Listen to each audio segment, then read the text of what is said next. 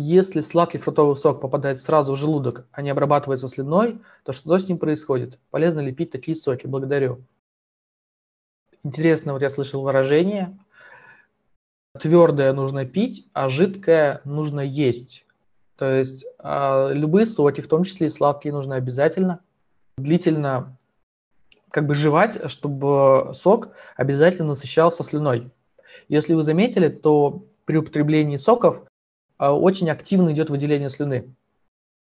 Обратите внимание, если есть такая возможность.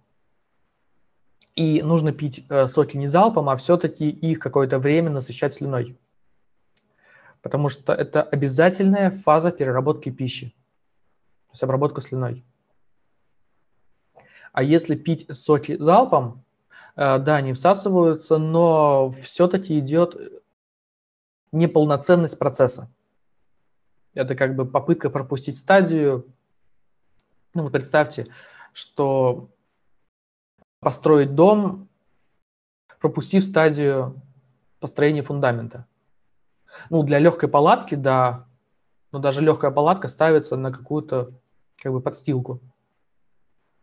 То есть стадии пропускать нельзя, но все-таки нужно проходить хотя бы в облегченном режиме. То есть даже соти нужно насыщать слюной.